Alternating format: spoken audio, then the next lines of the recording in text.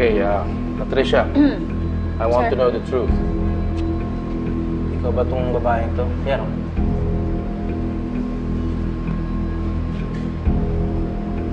Well, Sir, hindi po. Hindi po ako yung babaeng yan, sir. Napakalayo ho ng itsura ng babaeng yan sa akin. sigurado ka, ha? Yes, sir. That's not me. Malabo lang ang footage, pero malaki ang hawig niya sa'yo, Patricia. Kaya please, kung meron kang kinalaman sa pagkawala ng gown ko, umamin ka na. Hindi po ako yan. If you tell us the truth, kakalimutan na lang natin ang nangyari to.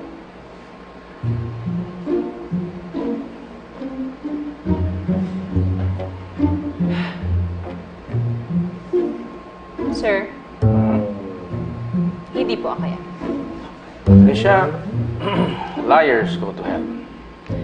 I know. It's not me.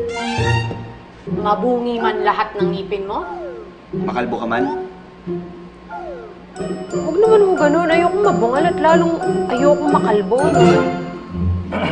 Okay, so Patricia, sabihin mo na sa amin ang totoo. Sige na, sige na. Aminin ko na. Ako yung babae sa CCTV na yan. Pero, sir, wala po akong isasoli dahil wala sa akin yung gown.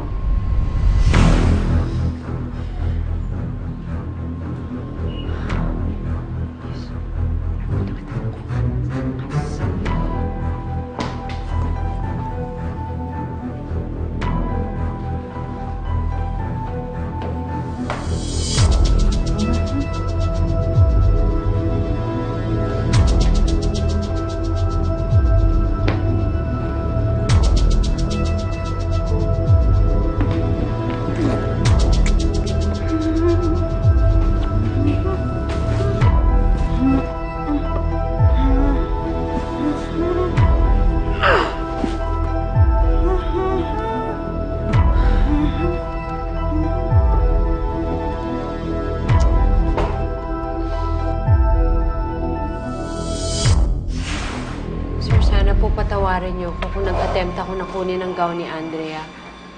Pero sir, kaya ako lang naman yung nagawa kasi... Sir, gustong gusto ko po kasi talaga kayo. Hanggang ngayon, sir, umaasa ako na mabibigyan niyo ako ng pagkakataon, sir. Patricia, that does not justify what you did. Alam ko po, sir. Kaya nga ho, matatanggap ko po kung tatanggalin niyo po ako sa trabaho, sir. Basta maniwala lang po kayo sa akin. Wala po sa akin yung gown. I hope for your own sake nagsasabi ka ng totoo, Patricia. Well, Patricia, hindi kita ifa-fire. Sir, talaga po. Naku, sir, salamat po. But, uh, i-demote kita. Kailangan ilipat kita sa messenger department. Sir, sa basement yun, di ba? Yes, sa basement. Choosy ka pa. Doon ka na bagagay sa basement as far away from mommy as possible.